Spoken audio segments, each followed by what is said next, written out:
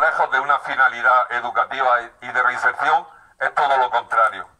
Es paradójico que para conseguir que estas personas, según dicen ellos en sus currículos, en sus libros tan bonitos que tendrán, dirán que estas personas que están aquí dentro están tratándolas para adaptarlas a la sociedad. Y para adaptarlas a la sociedad, la apartan hasta la quinta leche donde está esta quinta, este quinto centro, esta, esto donde, donde Dios, entre comillas, no quiso venir. Es increíble. Esta es la reinserción, apartando a la gente, que no tenga vinculaciones con familias, con vecinos, con tal, claro, así todo lo que ocurre de esas murallas, de esas vallas hasta adentro no lo enteramos, porque eso, de eso se trata, no se trata de otra cosa, y se trata de tener un almacén ahí en la que los niños acaben muriendo, de una manera o de otra, o físicamente o psíquicamente.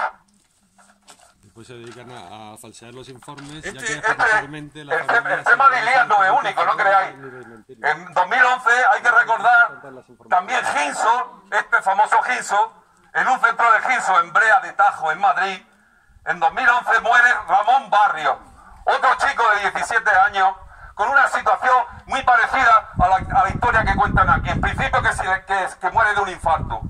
Luego los familiares comprueban el cuerpo del chico y lo comprueban lleno de arañazos y de moratones. La misma historia, pues no ha pasado nada. Esto es de 2011. Impunidad total, impunidad.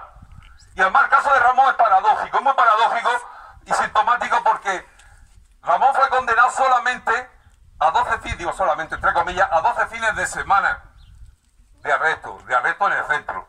12 fines de semana. No era una pena grande, yo no entiendo mucho, pero creo que no era una pena grande, ni eran 12 fines, fines de semana, que además los podía haber canjeado pagando una multa de 300 euros.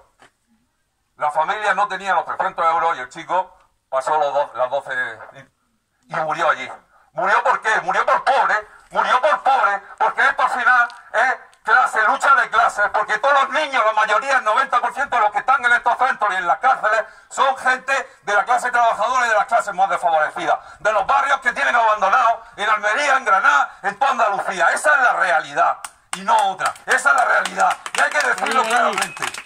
Y el sistema es el culpable de lo que está ocurriendo.